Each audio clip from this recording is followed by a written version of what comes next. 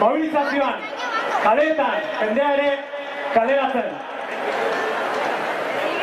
Kale ateratzeko garaia da. Oraingo honetan, erreforma bultzatu